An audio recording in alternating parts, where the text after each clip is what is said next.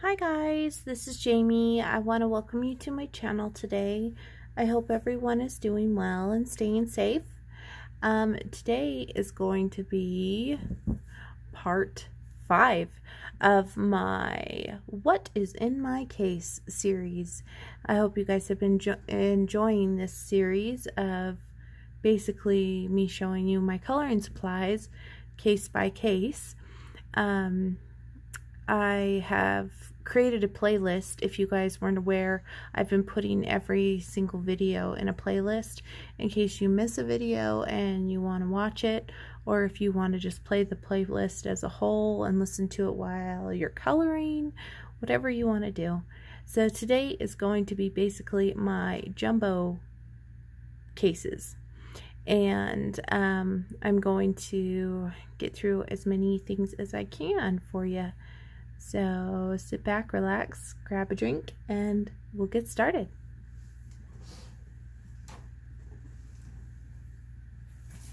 First case I'm going to show you is this one. It is my polar bear case. It um, says paint your colors, believe in yourself. This isn't like a jumbo case in regards to thickness. It's just really tall. I'm going to make sure I can like you can see as much as you possibly can here.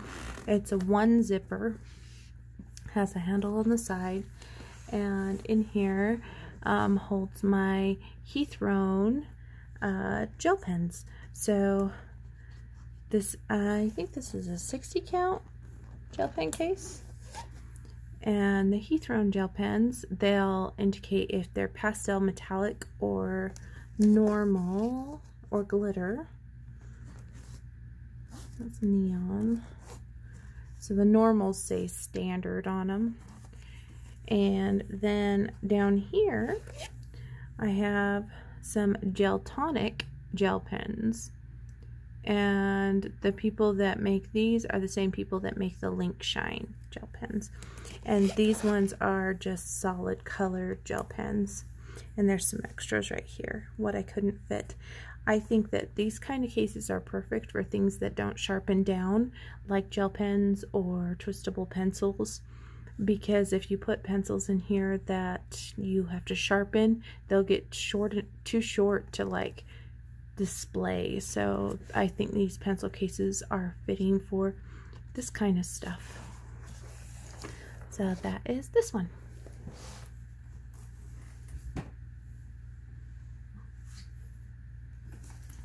Next case I have is one of my favorite cases. Um, so it has triangles on it, has a handle, one zipper. I wish that this particular type of case came in larger and in smaller because I really like this, this how you open these. This one has my toy markers, so my Arteza toy markers. Twee Twee marker, I guess you could say. And now the Twee marker is a water-based marker and um, they're from Arteza and they have a color name and color number and they have a little brush end right here and then they have a super fine end, a tiny tiny on that end. I don't get much use out of this end more more or less I get use out of this end. Now these are different. Um, they don't they don't respond to paper like I want them to. It's almost like they have a fiber tip. It says they're non-toxic and they're blendable, but when I use them, it tends to peel the paper if I use them directly on the paper. Now, I've seen lots of people scribble these on a palette and use them like a watercolor. So I'm still on the fence about these, I'll be honest. I have the 100 set, and I used to keep them in a tin under my bed, but they never got used in the tin. So I basically upgrade them to a case so that um, maybe they'll get more use. And I, I think I just need to find the right paper for this particular marker. And then I'll be good to go. So that is this case.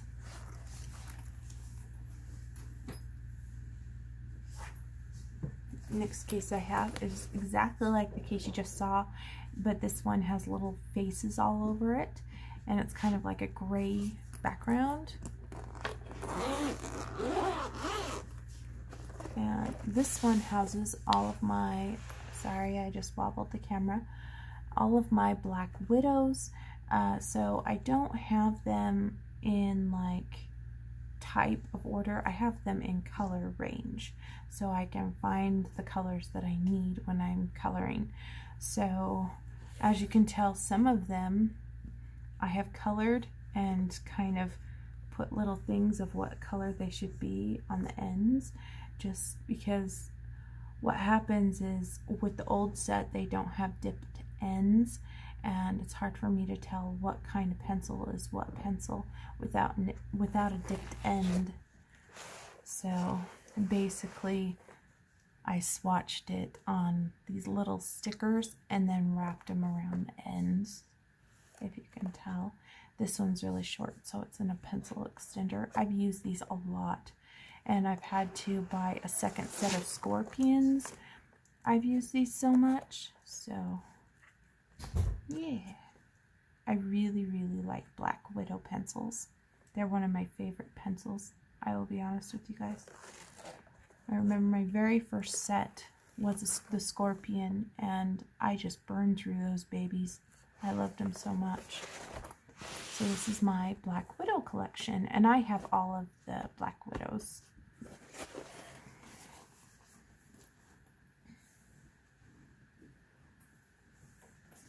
Next one I have here in this pencil case is exactly the same as those other two pencil cases, except it has adorable pandas on it. I love pandas. They're one of my favorite animals. And this case is so cute. I, If I need a big case like this again, I wouldn't mind having two panda cases. I like them so much. Their little faces are just adorable. And this one houses my Arteza or Arteza colored pencils. These are just the regular expert wax base pencils. Um, 120 count. As you can see, some are backwards because I use them for projects and never turned them all the other direction. so, yeah, it's fine. At least you can tell that they've been well loved. And I've used them. You can tell which colors I go for most. I used to house my Arteza gel pens here, but I took them out and put them in with my jelly rolls because um, I kept forgetting I had gel pens in this case.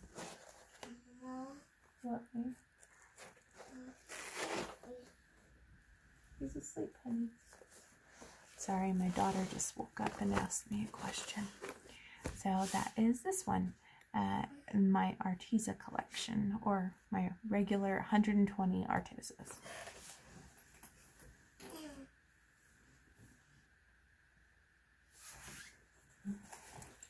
Next case I'm going to show you is by Ann Shan. It says, want to be a dream maker. I love this case. It's like a fox.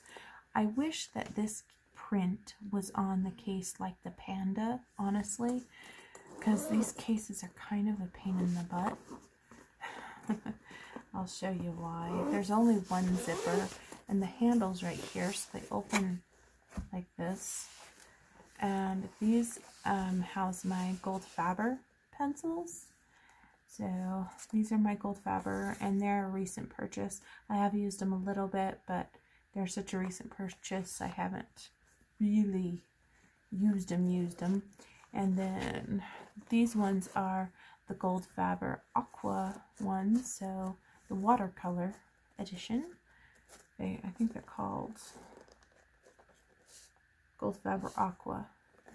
And these just have um, numbers on them. They don't have color names, I don't think. And I don't think these have color names either, just the numbers. Yeah. And then in the very back here are my first set of Gold Fabers. So those are just extras. And then I have all this extra room for other things. Maybe if I um, get the gold Faber classic pencils, I'll put them in here with this. But until then, this just houses the gold Faber ones. Which is great in this fox case.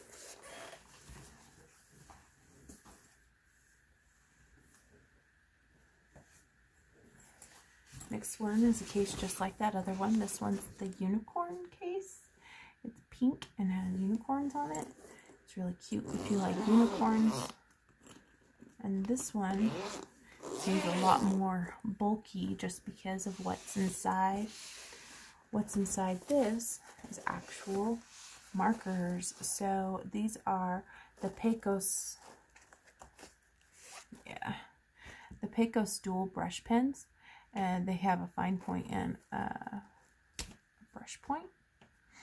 I've used these in Johanna Basford books and they don't bleed through. They don't have a color name and they don't have a color number. But it's pretty easy to tell what color they are because the whole thing is one color. And as you can see, I have assorted them in color range the best I could anyway. And I've got them all in here. That's why it was kind of bulky. When you're putting these in, you can only put two in a slot. When you're doing pencils, you can do three. Because the pens and markers are thicker, it seems to be.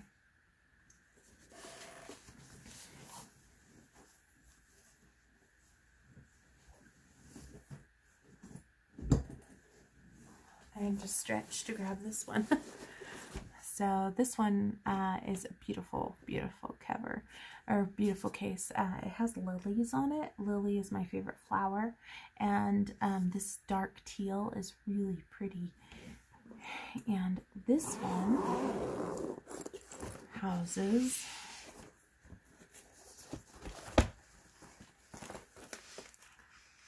these babies. These are the Cal, color, color, colored pencils. These were the ones that were in the black case with the elephant on it. And I've seen so many like knockoffs that are so similar to this. I don't know if they're all formulated the same or what, but they have a color name. But as you can see, the O on the orange is already rubbing off, and same with the number. I think over time this will just rub off. Um, these I feel are like a bargain friendly pencil. Um, I put them in this case just because the set is 180 and that is a big set of pencils. I think that these are perfect for your cheaper books, um, ones that you don't really care what pencils you're using. This is a really soft pencil and um, the only thing I don't like about these pencils, and you probably don't realize it, is after you're done with them, you want to make sure to spray a fixative over them because if you put another piece of paper on top of it, like if you close your book and say it's a double-sided book, it will rub and it will leave imprints of those colors on the reverse side. So the pigment does rub off. So if you use these pencils, and they said this is the same formula as the ones that come in the red tin with the black barrel, I highly suggest you use a fixative spray after you're done with your work so it doesn't rub on your other pages. Now, if you're using single-sided, it doesn't matter, but that is what I would suggest.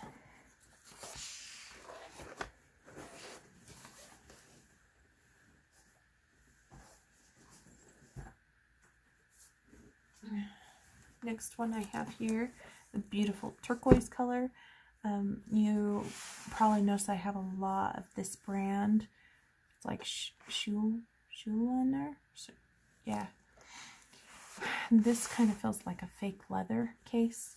And I actually like the feel of this. It kind of feels classy, fancy. If I can get the little things out. Maybe I just didn't close it all the way. So this one houses my Brutfuner So these are my Brute square pencils. As you can see, I have lots of little divots in my pencils. It is because I couldn't find the right sharpener for the longest time to sharpen these. And I finally found the perfect sharpener thanks to the Coloring Diva. And it is this sharpener. It's an electric sharpener. It's from AFMAT. And it can, it can do really skinny pencils and it can do really big pencils and when I use this sharpener it gives me an excellent point and it won't damage the barrel of my pencil and I don't have to use a little hand crank. Um, a lot of times I get wrist pain if I use a manual pencil sharpener. The only manual sharpener I use is I use the T'Gaal little pink sharpener for um, my Prismacolors.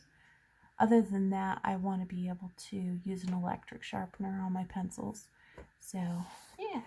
And see how nice and sharp these points are? It's because I've used that. But before I was using a hand crank one that kept getting these stuck, which presented a big problem. Let me just make sure I don't have... No, these are Brutfuners as well. Just wanted to make sure the whole thing was Brutfuners. So the brute furnish square, and they have um, a number on them. No, and this um, writing is like Japanese or Chinese or something, and I'm sure it's a color name, but I don't read that, so I don't know what that says.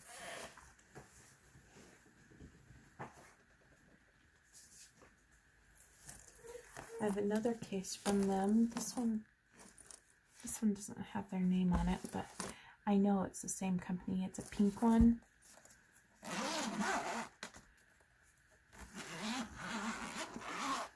And this one houses all of my Castle Art pencils.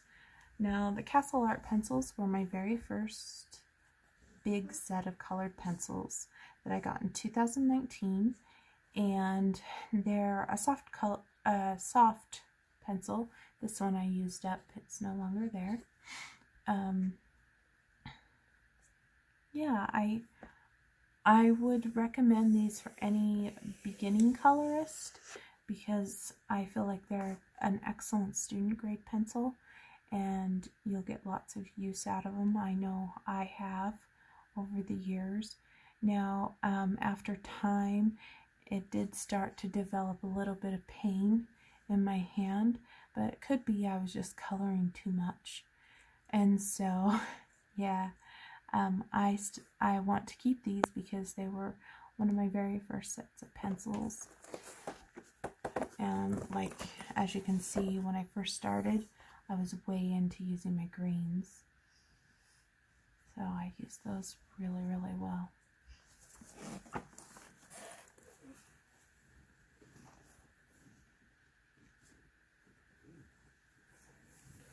Next one is from the same company.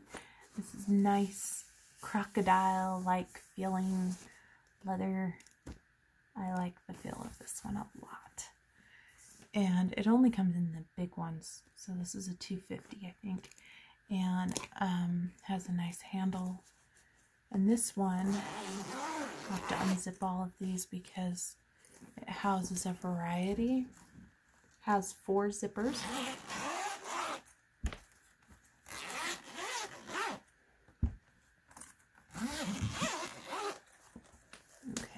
So, first things first, every pencil in this case is a watercolor pencil. And this first set is the Anna Valis, Valencia, Valencia or something. V A L A C C I. I know I will say that wrong. It does have a color name and it does have a number. Now, these went on sale very, very cheap, and I saw them, I think it was Coloring with Donna, Coloritaville, or I don't remember who it was I saw first that had these, and maybe it was the Art Gear Guide, I can't remember, but they performed really, really nicely, and they're nice and thick like a polychromos. And I saw that they were only $14.99 and I couldn't pass them up.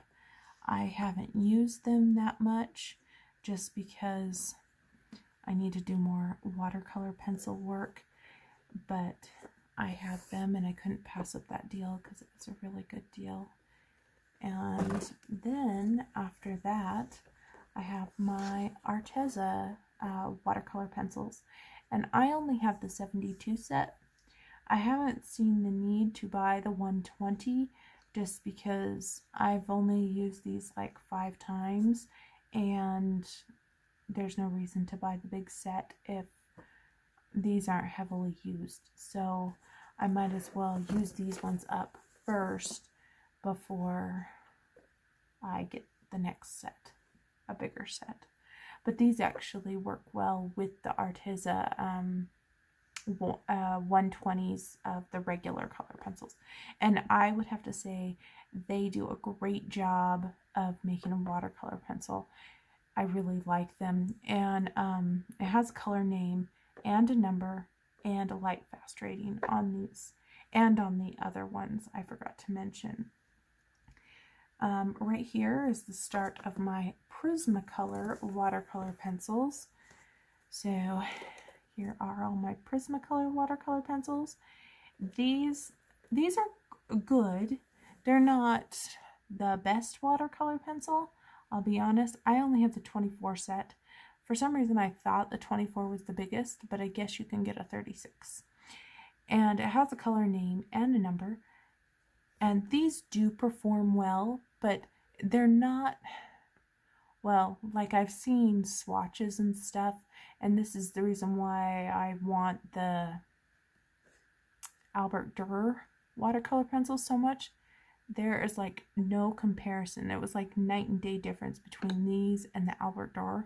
And so I would really like the Albert Dürer ones. But these these particular ones I got a long time ago and someone was selling them for eight dollars on eBay so I snatched them up. Now these are extra watercolor pe pencils for from Arteza. I got these in my Christmas it was like a uh, an advent calendar that I bought from Arteza during Christmas time so that um, you peeled things back one a day and they gave you three uh, well i guess they gave you yeah three watercolor pencils. And this is um i think it's a graphite pen pencil. So i just put it in there. That's my only graphite pencil.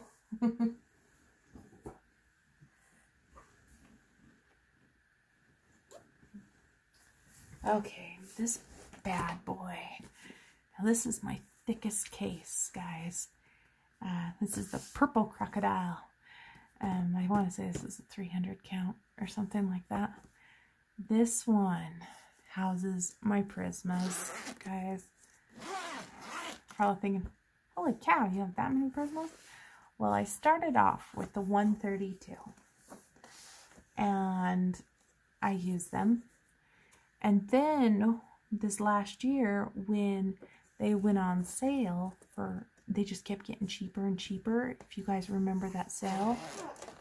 I couldn't pass them up because I was missing so many colors. I added up the price of how much it would be to buy them open stock and then I saw the price of how much they were on sale. It was cheaper for me to buy the 150 than to buy the open stock of what I needed and I was like, well, I'm almost out of this light peach. I might as well buy more. And so basically, I put as many as I could in this case. I still have a tin that I keep by my desk of extra Prismas that didn't fit in here. But as you can see, you can tell which ones are well used.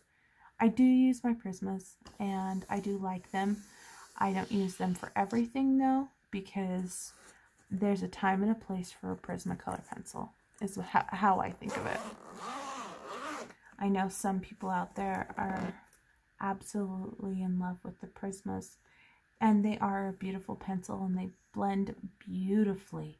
But sometimes you don't want that cakey, um, too much of a blended look. I, I don't want to say it like that because it always looks good and nice and soft and blended, like picture perfect.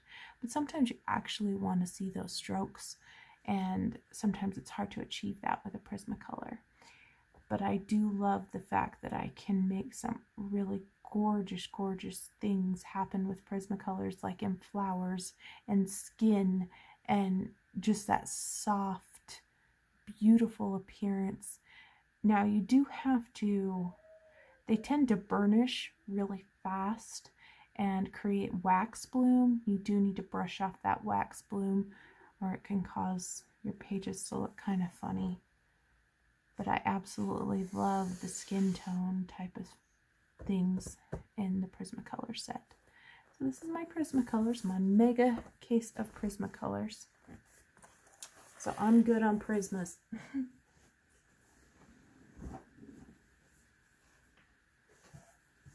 All right, and then here's this mega case that you guys just barely saw in my in my haul earlier at the last of July. And this bad boy holds all of my jelly rolls, Sakura jelly rolls, and all of my knockoffs or imitations of Sakura jelly rolls. I consider the Arteza glitter gel pens kind of like a knockoff because they're shaped like a Sakura jelly roll. So I have some of those. I have some of the dollar store ones. Um, I have a variety of the Sakura Jelly Rolls. I've got, obviously, I've got Moonlights. I've got um, Souffles. I've got Metallics. I've got Stardust. I've got the kind that turn gold. I have the kind that turns silver. I have the Jelly Roll Glaze. Um, I do not have the the moonlights that are the new edition. They're kind of like um I don't I don't know what you would say. They're kind of like autumn looking colors. I don't have those ones, the ones that were the newest release. I've been wanting to get those, but I haven't gotten those ones yet. But basically, this case is completely full. And as soon as um, I go through one, I usually just replace it because I, I have a box of extras that if, if a case starts to look a little empty, I can always put an extra in it. I used to keep these in a little cup by my desk and it was like a Easter basket but I couldn't find the colors I needed when I needed them. So I think that putting them in a case, it'll be easier for me to find what I need when I need it. And it, I also sorted them by size because I had some of the 06s and the 08s, but I prefer the 10s or the 1 zeros. So they're a thicker, thicker pen. So that is this one. And I don't think, yeah, these these don't say a color name on them. Yeah, these don't have color names. They, I, I don't think they ever have. And then the last two I'm going to show you are not really in cases. They're in the things that um, they came in in Amazon. And I haven't removed them because they're kind of a unique box.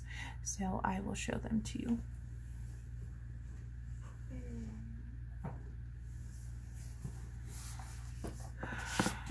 This one is the Chameleon Color Tone pencils. And these were on sale for about $20. And this case has magnets right here. So it stands up like this. So if you could see that, it stands up like this. And each pencil is dual-ended. So this one has a white and a cream. And I will tell you right now, this is the hardest pencil that I have in my collection. they give off excellent pigment, I will tell you that.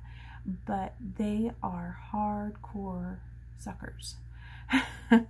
um, uh, and if you say run out of a certain color, you can't just buy one of these pencils. You have to buy a whole nother set. I have swatched these, but I haven't used them yet because since they're such a hard pencil, I'm kind of trying to figure out what I think would be best. I'm thinking something with fine details, maybe like Villain San um, by Thomas Love or something more intricate that you want vibrant colors with. So yeah, these are excellent pig pigments though. And what's nice about these is it's like they give you the complement. So say you want to color it light and then you can shade with this. This is pear, this is basil. They have some pretty nice names too. But yeah, I have those.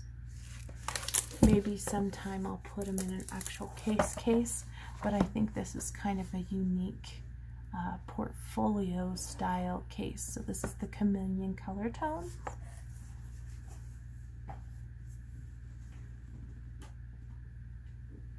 And then the last one that I'm going to show you in this video is this. Um, this is the Uni colored pencils, the Mitsubishi Uni colored pencils.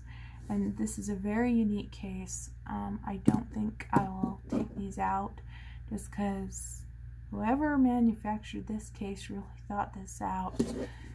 And it's hard to show these, but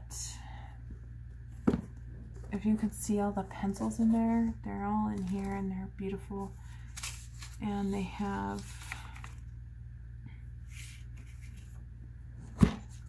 they actually go up. Oh, it's like I want to I want to show you how this works, but at, at the same time, I don't know if you'll be able to see it.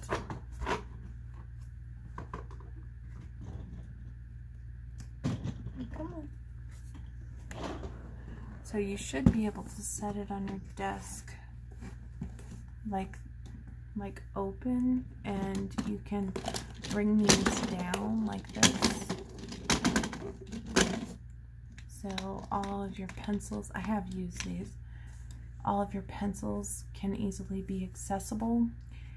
Now I haven't used these as much as I would want to because as you can see, it covers my entire desk. I can't, where am I going to put my coloring?